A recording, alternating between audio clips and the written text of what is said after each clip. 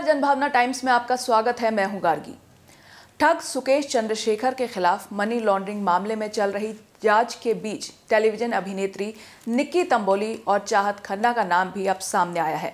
प्रवर्तन निदेशालय के आरोप के अनुसार निक्की को तीन दशमलव पाँच लाख रुपए और एक गुच्ची का बैग दिया गया था। तो वहीं एक्ट्रेस नोरा फतेही को इसी मामले को लेकर एक बार फिर दिल्ली पुलिस की आर्थिक अपराध शाखा के सामने पेश किया गया था।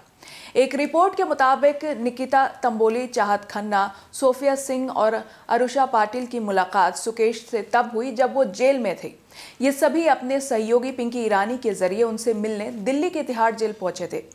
प्रवर्तन निदेशालय के चार्जशीट में कहा गया कि अप्रैल 2018 में पहली मुलाकात के दौरान आरोपी पिंकी ईरानी को सुकेश चंद्रशेखर से 10 लाख की नगद राशि मिली, जिसमें से उसने रुपए की नगद राशि दी। निकिता तंबोली को एक दशमलव पाँच लाख रुपए, दूसरी बार अपनी पहली मुलाकात के दो से तीन सप्ताह के बाद वो अकेले सुकेश चंद्रशेखर से मिलने गई, जहाँ उसे आरोपी सुकेश चंद्रशेखर ने दो लाख और एक गुच्ची का बैग दिया। दिल्ली पुलिस ईओडब्ल्यू के अधिकारियों ने इसी मामले में अभिनेत्री जैकलिन फर्नांडिस को तलब करने से ठीक एक दिन बाद नोरा से पूछताछ के लिए वहाँ बुलवाया और उनसे कई सवाल किए गए।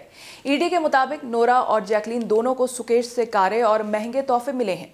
कर्नाटक के बेंगलुरु के मूल निवासी सुकेश वर्तमान में दिल्ली की जेल में बंद है और उसके खिलाफ 10 से अधिक आपराधिक मामले दर्ज हैं। जब वो रोहिणी जेल में बंद था, तब उस पर 200 करोड़ रुपए का जबरन वसूली रैकेट चलाने का आरोप लगाया गया था।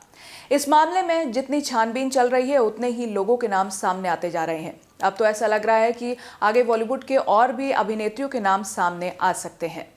बाकी खबरों के लिए आप हमारे वेबसाइट www.thejbt.com को लॉगिन कर सकते हैं। देश और दुनिया की बाकी खबरों के लिए देखते रहिए जनभावना टाइम्स। नमस्कार।